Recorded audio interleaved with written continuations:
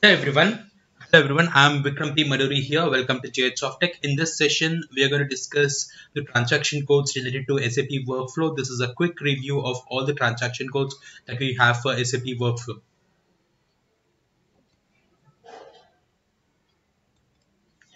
SWU3 is the transaction code that we use for automatic workflow customizing.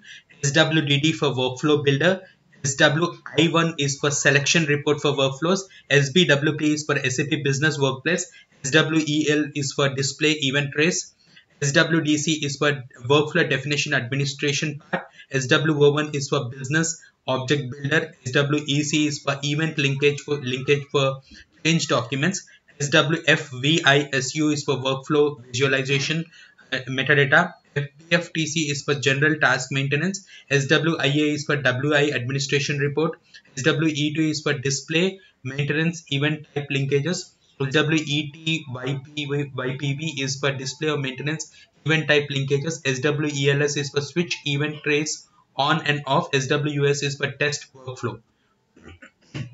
SWUD is for workflow diagnosis swb underscore cond is for maintain workflow start conditions. Swpr is for restart the workflow.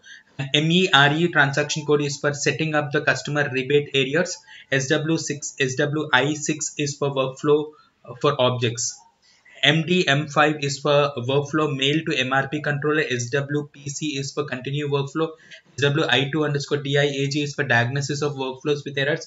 BSVW is for linkage status update workflow event. SWUI is for start workflow. SWU2 U2 is for workflow RFC monitor. SWDM is for business workflow explorer. SG10 is for workflow overview. S uh, WF01 is for workflow process okay thanks for watching this video. If you like this video do like click on the like button share it with your friends so that it will help them as well. And do subscribe to our channel and do not forget to click on the, the bell button so that you can get notifications on a regular basis and you can upgrade it. So i, I would normally suggest everyone to invest your time on you know quick reviews of uh, the the concepts that we would like to you know uh, learn or you have already learned so that this, this quick review helps you a lot in in keeping up with pace with the you know uh, knowledge base that you already have. Thank you. Have a great day